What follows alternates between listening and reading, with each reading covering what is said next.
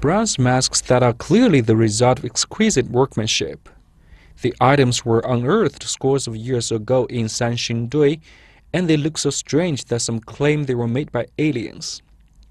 Whatever their origin, these artifacts will soon be part of pop culture as they serve as inspiration for an animated production and novel by the Sichuan Publishing Group.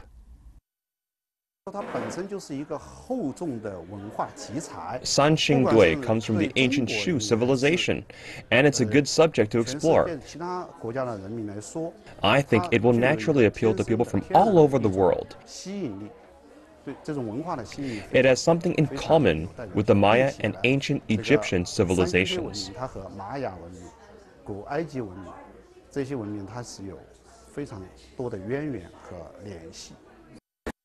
The company is working with Canada's Wooka Publishing House for a new book, Golden Mask. Based on the mysterious finds in Sanxingdui, the novel is expected to hit the Chinese and North American markets in 2018.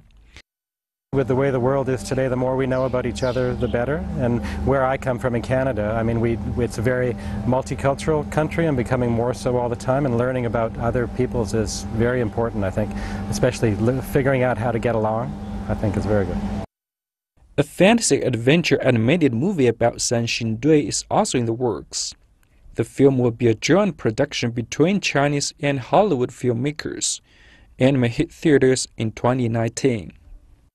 The story is going to be unique in that it will have a lot of factual content from the museums, from the digs, from the area of, of uh, Shishuangdui, and that will be kept inside the story. But it will also be a fabulous tale, very exciting. Action legend Arnold Schwarzenegger is also reportedly expected to star in another movie on Sanxingdui. Hollywood interest in Chinese culture has grown over the years.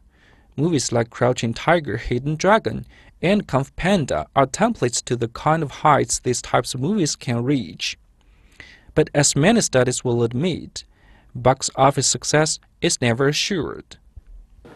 The Sanxingdui ruins are considered one of the most important finds of the 20th century, and the site is now applying for World Cultural Heritage status. Meanwhile, the creation of artwork surrounding the mysterious civilization is also booming.